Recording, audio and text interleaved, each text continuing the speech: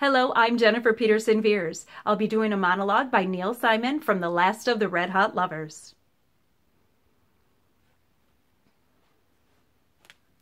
You hypocrite. You soul searching, finger smelling, hypocritical son of a bitch. Who are you to tell anyone how to live their life? What would you have done if I came in here all fluttered and blushing and, ooh, Mr. Cashman, don't put your hand there. I'm a married woman. Were you going to tell me how much you respect me, admired me, and at the moment of truth even love me? You know goddamn well tomorrow you'll be back behind that counter opening clams praying to Christ that I never come back into your restaurant. And you know something? That's the way it should be.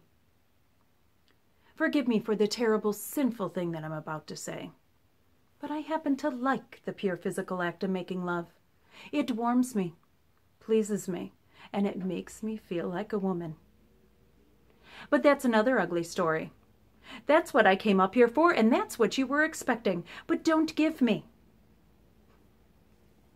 When I was nine years old, my mother ran off with the butcher, and I've been searching for someone to love me ever since. I don't know your problems, and I don't care. So keep your savory swordfish succotash stories to yourself. No one really cares about anyone or anything in this world but himself, and there's only one way to make it through with your sanity. If you can't taste it, touch it, or smell it, forget it.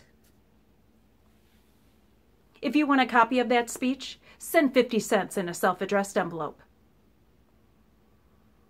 Thank you.